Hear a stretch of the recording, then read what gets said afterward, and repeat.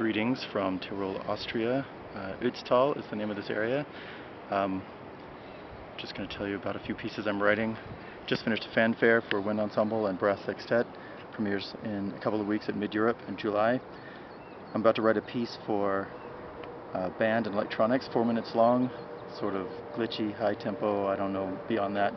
Um, not as hard as Ecstatic Waters or Solace. Then I'm writing a trombone concerto for Joe Alessi all next year, and uh, that premieres the year after that. And also, I'm happy to announce that the Minnesota Orchestra is premiering Ecstatic Waters for Symphony Orchestra next May 8th, 9th, and 10th in Minneapolis, Minnesota, and my good friend Eric Whitacre will be conducting. So a lot of exciting things happening. Hope to see you at some of them.